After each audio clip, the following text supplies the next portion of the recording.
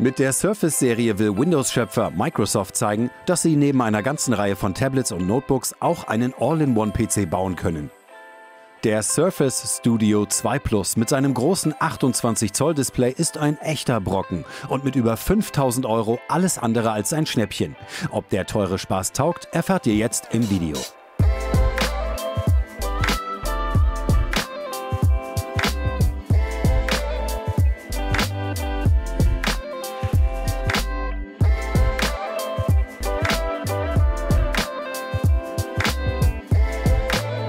Von außen hat sich das Gerät im Vergleich zum normalen Studio 2, also ohne Plus, kaum verändert. Da muss man schon sehr genau hinschauen, um die Neuerungen zu entdecken. Auch beim Display gibt es auf den ersten Blick wenig Neues. Es bleibt bei einem Bildschirm mit verstellbarer Neigung mit einer Auflösung von 4500 x 3000 Pixeln. Das neue Display stellt jetzt aber Farben noch genauer dar. Zum Zeichnen oder Schreiben direkt auf dem Bildschirm bietet sich der bewährte Surface Pen an. Dabei lässt sich das Display sogar fast waagerecht nach unten neigen, um es wie ein Zeichenbrett zu nutzen. Die kräftigen Federn sorgen dafür, dass sich die Neigung dabei sehr genau einstellen lässt und auch gehalten wird. Die Federn sind sogar so kräftig, dass beim Auspacken Vorsicht geboten ist, um sich nicht die Finger zu klemmen. Wichtig beim Aufstellen ist auch Abstand zu Lampen zu halten, denn die Oberfläche spiegelt leider deutlich.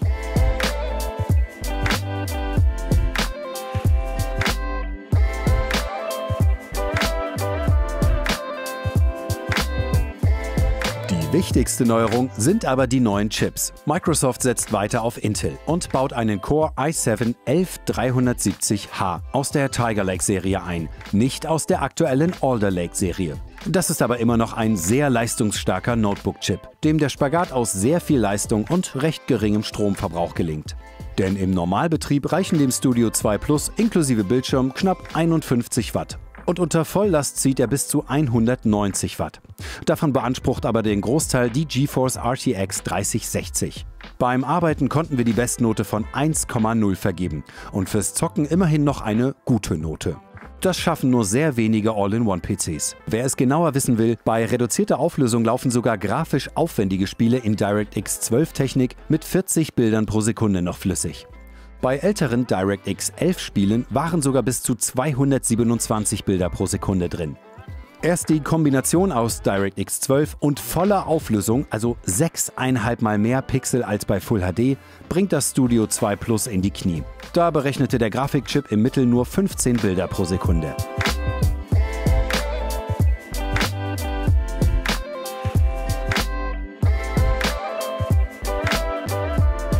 Insgesamt arbeitet das Gerät im Normalbetrieb mit 0,1 Zone extrem leise. Wer da nicht gerade das Ohr auf den Monitorfuß mit der PC-Technik legt, der hört nichts, selbst in sehr ruhiger Umgebung.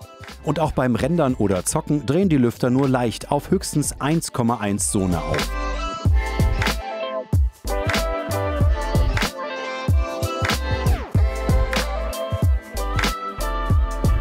Satte 32 GB RAM stehen dem Gerät zur Verfügung. Mehr ist hier nicht möglich. Und Nachrüsten ist auch unmöglich, denn wie bei vielen All-in-One-PCs, die auf Notebook-Technik setzen, ist der Speicher fest aufgelötet. Genauso wie die fest eingebaute SSD. Diese ist sehr schnell, fällt aber mit 954 GB nutzbarem Speicherplatz für einen 5200 Euro PC vergleichsweise mini aus. Wer da mehr Speicher braucht, für den sind externe SSDs der einfachste Weg. Die bekommen dann aber den perfekten Anschluss, denn drei USB 4 Buchsen mit Thunderbolt 4 Technik ist sogar für heutige SSDs noch überdimensioniert. Die Anschlüsse sitzen auf der Rückseite. Daneben gibt es noch die Netzwerkbuchse, zwei USB-A und einen Mini-Klinke-Anschluss für Headset oder Kopfhörer, der aber eher ungünstig zu erreichen ist. Für Audio ist da eher ein Bluetooth-Modell die komfortablere Lösung.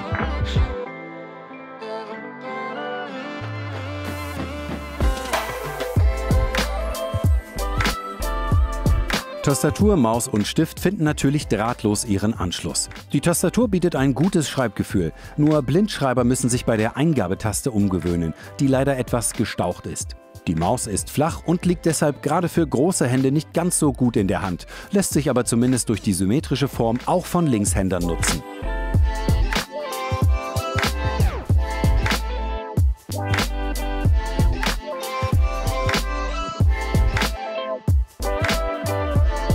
Das Microsoft Surface Studio 2 Plus ist ein echtes Topmodell.